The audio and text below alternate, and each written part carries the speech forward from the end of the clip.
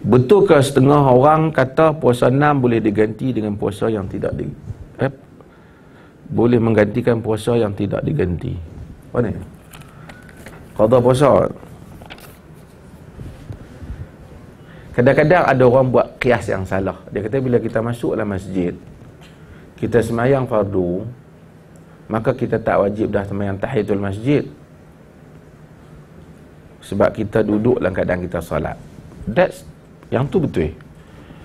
Kerana semayang tujuan masjid didirikan untuk solat. Maka kita tak masuk dalam masjid terus pergi duduk. Tengok-tengok orang duduk ceramah kita masuk duduk. Kita kena duduk.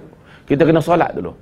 Sehingga Nabi berkhutbah pun Nabi suruh orang masuk dia terus duduk Nabi tengah duduk khutbah Nabi tegur ya fulan ar-raka'at raka'atain wahai fulan kau telah semayang dua rakaat dia kata kum farka' raka'atain bangun dan semayang dua rakaat tapi tak sama dengan puasa enam eh.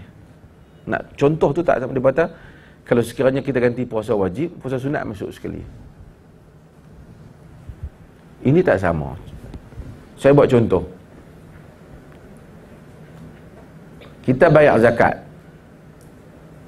kepada fakir miskin.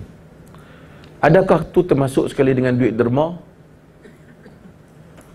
Dia tak termasuk. Ni zakat saya, kira derma saya masuk sekali dalam tu lah zakat yang wajib. Derma yang sunat bagi melalui yang sunat. Ha? ataupun sedekah. Dua-duanya dinamakan. Sedekah wajib dan sedekah sunat.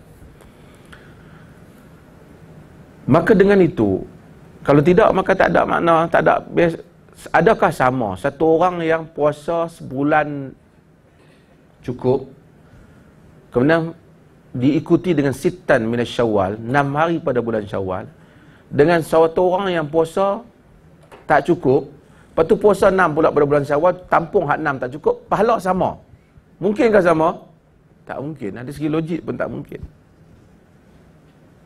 ha? maka dengan itu sesiapa kan Nabi kata man sama Ramadan fa'atba'uhu sittan min syawal faka'annama sama dahr siapa yang puasa Ramadan diikuti enam hari pada bulan syawal maka seakan-akan dia berpuasa setahun. Maka hendaklah dia puasa dulu Ramadan. Kalau Ramadan dia tinggal, sebagian para ulama menyukai jika sekiranya kita tinggal tiga hari Ramadan tu, buat dulu Ramadan tu bagi habis. Ganti dulu, lepas tu diikuti dengan enam hari pada bulan Syawal. Kalau masa tak mengizinkan, dia ganti pada bulan yang lain. Tapi enam hari itu ialah berasingan.